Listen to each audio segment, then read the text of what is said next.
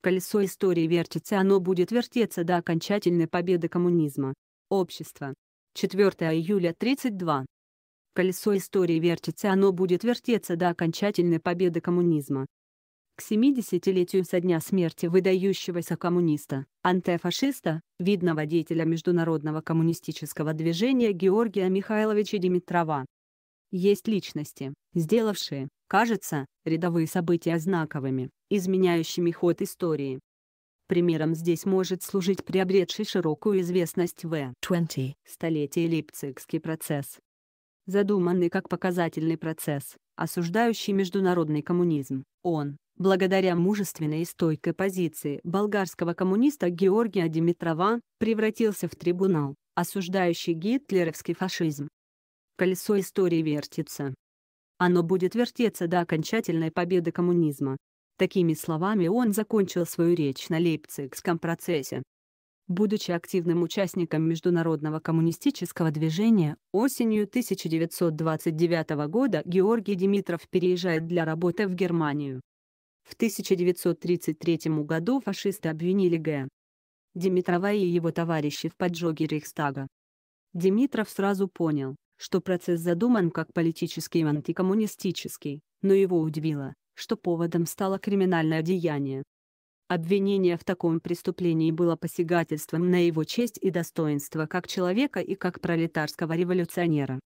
Поэтому Георгий Димитров посылает письмо-протест в органы германской полиции, в котором он отвергает всяческие подозрения в любой его причастности к данному преступлению. Как коммунист, как член болгарской коммунистической партии Коммунистического интернационала я, заявляет Димитров, принципиально против индивидуального террора, против всяких бессмысленных поджогов, потому что эти акты несовместимы с коммунистическими принципами и методами массовой работы, с экономической и политической работой, потому что они приносят только вред освободительному движению пролетариата, коммунизму. На самом процессе, продлившемся более трех месяцев, Димитров сделал все, чтобы обличить преступные действия фашистов. Воспользовавшись еще действовавшим в Германии правом задавать вопросы свидетелям, он превратился из обвиняемого в обвинителя. Димитров умело задавал вопросы, ставившие свидетелей обвинения в тупик, а с помощью вопросов к свидетелям из рабочей среды старался доказать не только свою непричастность к этому преступлению, но и то, что Коммунистическая партия Германии также не использует в своей работе подобные методы. Данные Георгием Димитровым характеристики свидетелям обвинения показывали всему миру, что эти свидетели национал-социалисты, фальсификаторы и уголовные преступники. Одной из ключевых страниц процесса стало выступление в суде свидетеля Г. Геринга, премьер-министра Германии и убийцы тысяч рабочих. Геринг быстро закончил давать показания, но затем поднялся Димитров и стал задавать ему неудобные вопросы. Сначала о том, почему Геринг сообщил в интервью, что поджигатель Рейхстага Вандерлюбе является голландским коммунистом, ведь полицейские заявляли, что у него не было с собой портбилета. Геринг с нескрываемым раздражением отвечал на подобные вопросы. Но Димитров продолжал. Вопрос не стало ли заявление Геринга о том, что поджог совершила Коммунистическая партия Германии с помощью Вандерлюбе, препятствием для проведения объективного расследования, окончательно вывел Геринга из равновесия. С моей точки зрения это было политическое преступление, и я точно так же был убежден, что преступников надо искать в вашей партии», — бросил Геринг. А затем, уже переходя на крик, добавил, «Ваша партия — это партия преступников, которую надо уничтожить». А сохраняющий спокойствие Димитров продолжил. Известно ли господину премьер-министру, что эта партия, которую надо уничтожить, является правящей на шестой части земного шара, а именно в Советском Союзе, и что Советский Союз поддерживает с Германией дипломатические, политические и экономические отношения, что его заказы приносят пользу сотням тысяч германских рабочих. Председатель суда прерывает Димитрова, запрещая вести коммунистическую пропаганду. Димитров отвечает. Господин Геринг ведет здесь национал-социалистскую пропаганду. И, обращаясь к Герингу, продолжает. Это коммунистическое мировоззрение господствует в Советском Союзе, в величайшей и лучшей стране мира, и имеет здесь, В Германии – миллионы приверженцев в лице лучших сынов германского народа. Геринг был окончательно взбешен. Я здесь не для того, чтобы позволить вам себя допрашивать, как судье, и бросать мне упреки. Вы в моих глазах мошенник, которого надо просто повесить. Председатель приказывает удалить Димитрова из зала суда, но Димитров одной лишь фразой добивает Геринга. «Я очень доволен ответом господина премьер-министра», прозвучало в суде. Взбешенный Геринг крикнул «Вон, подлец!». Полицейские уводят Димитрова из зала суда, но он успевает ответить Герингу. «Вы, наверное, боитесь моих вопросов, господин премьер-министр. Смотрите, берегитесь, я с вами расправлюсь, как только вы выйдете из зала суда. Подлец». Из-за неудачного для гитлеровцев хода процесса радиотрансляция судебного заседания была прекращена. Но на следующий день весь мир все равно узнал об этой сцене, произошедшей в зале имперского суда Германии. Цитаты развернувшейся полемики приводили ведущие мировые издания. Во время процесса в Лейпциге Г. Димитров смог высоко поднять знамя мирового коммунистического движения. Это имело большое значение для сплочения антифашистского движения в Германии и мире. В 1934 году ГМ Димитров прибыл в СССР, где ему было предоставлено советское гражданство. В том же году был избран членом политической комиссии исполкома Коминтерна, ИКИ, и назначен руководителем Среднеевропейского секретариата Коминтерна. Так, в 1930-х годах Димитров становится одним из лидеров международного коммунистического движения. Димитровское определение фашизма, данное им в своем докладе на 13 пленуме ИКИ, не потеряло своей актуальности сегодня. Фашизм – это открытая террористическая диктатура наиболее реакционных, наиболее шовинистических, наиболее империалистических элементов финансового капитала.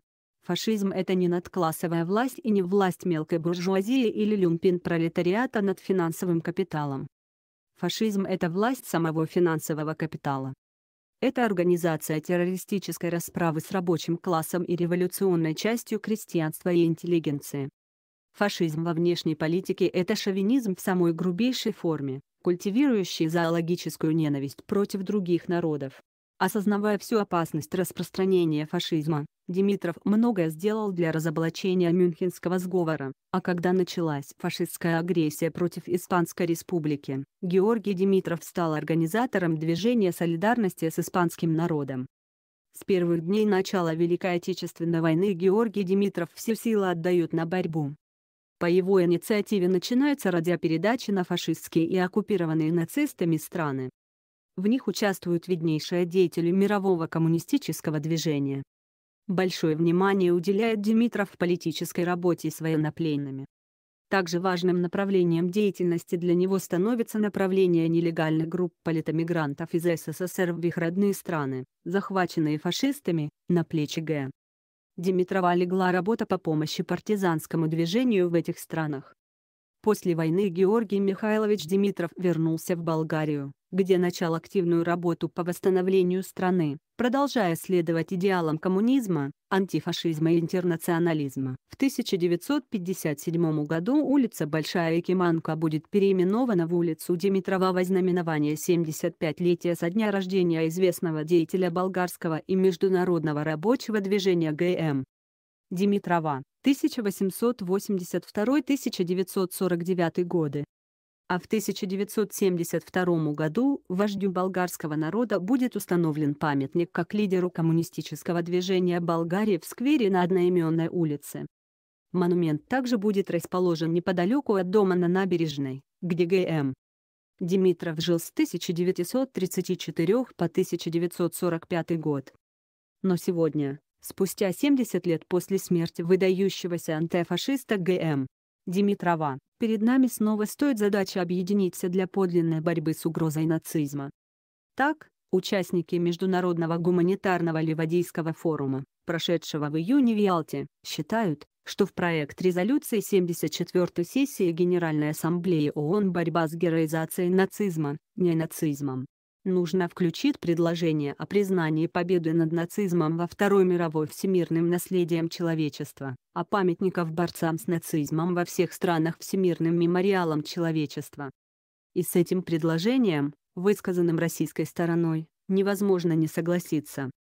И хотелось бы напомнить, в 1992 году в Москве, в разгар антикоммунистической истерии, не обошли стороной и ГМ. Димитрова улица его имени была переименована в Большую Якиманку, чудом уцелел лишь памятник в глубине сквера. Совершенно ясно, что без имени великого борца с фашизмом ГМ Димитрова Всемирный мемориал человечества будет явно неполным.